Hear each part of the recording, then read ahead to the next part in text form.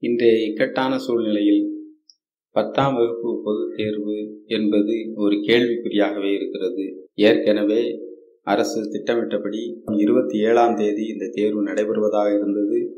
பின்பு ஜூன் மாதம் ஒன்றாம் தேதிக்கு இதை தள்ளி வைத்தார்கள். அதன் பின்பு ஜூன் மாதம் பதினைந்தாம் தேதிக்கு தள்ளி வைக்கப்பட்டிருக்கிறது. இந்த சூழ்நிலையில் இந்த தேர்வு மறுபடியும் தள்ளி வைக்கவோ அல்லது நிறுத்தி வைக்கவோ இது வாய்ப்புகள் அதிகம் உள்ளது. எனவே என்ன செய்ய முடியும் என்ன செய்ய போகிறார்கள் என்பதை நாம் பார்ப்போம்.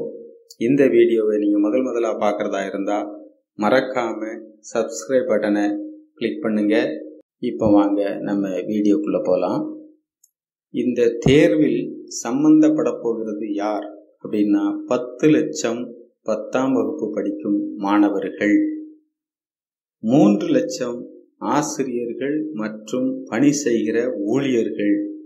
இது தவிர மாணவர்களுடைய பெற்றோர்கள் உறவினர்கள் எல்லாருமே அதில் சம்பந்தப்பட போகிறார்கள். ஏன் சம்பந்தப்பட போகிறார்கள்? ஒருவேளை ஏதாவது தொற்று வந்துவிட்டால் ஒரு மாணவிக்கோ மாணவனுக்கோ வந்துவிட்டால் அதன் அவர்களுடைய பெற்றோர் மற்றும் அருகில் இருக்கிற உறவினர்கள் எல்லாரும் பாதிக்கப்படுவார்கள் என்கிற சூழ்நிலை இருக்கிறது. இந்த கொரோனா பாதிப்புகளை குறித்து நாம் பார்த்தால் நேற்றைய நிலவரப்படி அதாவது எட்டு ஆறு இரண்டாயிரத்தி இருபதாம் தேதி அன்று தமிழகம் முழுவதும் பாதிக்கப்பட்ட மொத்த பாதிக்கப்பட்ட நபர்கள் முப்பத்து மூன்றாயிரத்து இருநூற்று இருபத்தி ஒன்பது இதில் நேற்று ஒரு நாளில் மட்டும் பாதிக்கப்பட்டவர்கள் ஆயிரத்து ஐநூற்று அறுபத்தி ரெண்டு பேர்.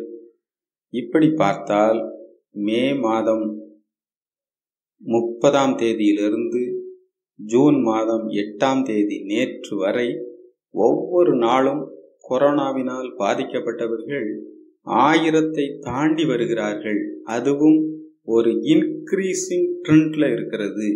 ஒவ்வொரு நாளும் இந்த எண்ணிக்கை கூடிக்கொண்டே போகிறது. ஒரு நாளும் குறைந்தபாடில்லை இந்த எண்ணிக்கை குறைவாக இருந்த நாட்களில் இந்த தேர்வை பற்றியதான அறிவிப்பை அரசு வெளியிட்டது. ஆனால் இப்பொழுது அது கட்டுக்குள் இல்லாதது போல் காணப்படுகிறது. இதனுடைய வீரியம் அதிகமாகிக் கொண்டே இருக்கிறது. இதை குறித்ததான வழக்கு சென்னை உயர் நீதிமன்றத்திலே விசாரணைக்கு வந்தது. அப்படி விசாரணைக்கு வரும்பொழுது சரமாரியான கேள்விகள் எழுப்பப்பட்டது. மாணவர்களுடைய உயிரோடு விளையாடுகிறீர்களா? தலைக்கு மேல் கத்தி தொங்கிக் கொண்டிருக்கிற சூழ்நிலையிலே மாணவர்கள் எப்படி தேர்வு எழுத முடியும் என்கிறதான பல்வேறு கேள்விகள் எழுப்பப்பட்டிருக்கிறது. இதற்கு அரசு பதில் சொல்ல வேண்டும். இந்த தேர்வை தள்ளி வைக்க வேண்டும் என்று விரும்புவதை காட்டிலும் இதை நிறுத்தி விடுவது என்பது மிகவும் நல்லது. அண்டை மாநிலமான தெலுங்கானாவிலே இதை குறித்த முடிவை அதன் முதல்வர் திரு சந்திரசேகர் ராவ் அவர்கள் வெளியிட்டிருக்கிறார்கள். நாங்கள் பத்தாம் வகுப்பு தேர்வை நிறுத்திவிட்டோம். அதை நடத்த மாட்டோம். ஏனென்றால் இந்த பாதிப்புகள் எங்கள் யாருக்கும் வரக்கூடாது எந்த மாணவருக்கும் வரக்கூடாது என்று தீர்க்கமாக முடிவெடுத்து அதை அறிவித்து விட்டார்கள் வெளியிட்டு விட்டார்கள். தமிழ்நாட்டில் ஏன் தயக்கம்?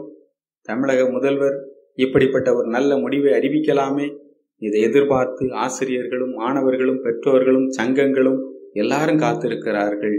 மாணவர்கள் பல்வேறு மனவேதனைக்கு ஆளாகியிருக்கிறார்கள் எனவே தீவிரம் காட்டுகிற கொரோனாவை ஒழிக்க வேண்டுமென்றால் முதல் நடவடிக்கையாக இந்த பத்தாம் வகுப்பு பொதுத் தேர்வை நிறுத்திவிட வேண்டும். இந்த ஆண்டு எல்லாரும் தேர்ச்சி பெற்றதாக தெலுங்கானாவை போல் தமிழ்நாட்டிலும் அறிவித்து விட வேண்டும்.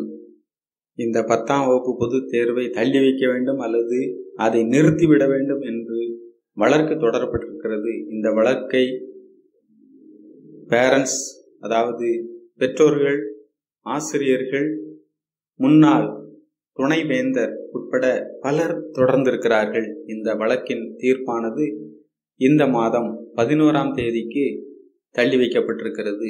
இதிலும் ஒரு நல்லதொரு முடிவை எட்ட வேண்டும்.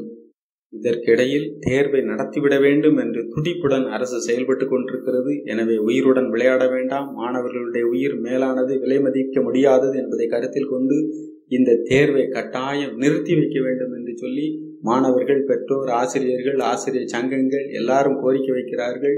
மக்களின் மனதை புரிந்து கொண்டு நல்லாட்சியை நடத்த வேண்டும் என்று சொல்லி அரசை விரும்புகிறார்கள். அரசு ஒரு நல்லதொரு முடிவை இன்றைக்கு அறிவிக்க இருக்கிறது. எனவே பொறுத்திருப்போம். அரசு நல்லதொரு முடிவை அறிவிக்கும் எல்லாரும் காத்திருக்கிறோம்.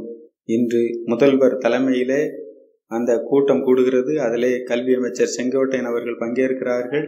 நல்லதொரு முடிவை அரசு அறிவிக்கும். எனவே காத்திருப்போம். தேர்வு நிறுத்தி வைக்கப்படும்படியாக நாம் எல்லாரும் பிரயாசப்படுகிறோம். அரசும் அதை செய்தால் செலவினங்களும் குறைந்துவிடும். சுமார் இருபது கோடிக்கும் அதிகமான செலவினங்கள் செய்து இந்த தேர்வை நடத்த வேண்டுமா? மாணவர்களிடம் உயிரோடு விளையாட வேண்டுமா? என்று சொல்லி பல்வேறு கேள்விகள் எழுந்த வண்ணமே இருக்கின்றன. இந்த வீடியோ உங்களுக்கு பிடிச்சிருந்தா இதை கட்டாயம் உங்களுடைய ஃப்ரெண்ட்ஸுக்கு ஷேர் பண்ணுங்க. மறக்காம லைக் பட்டனை கிளிக் பண்ணுங்க.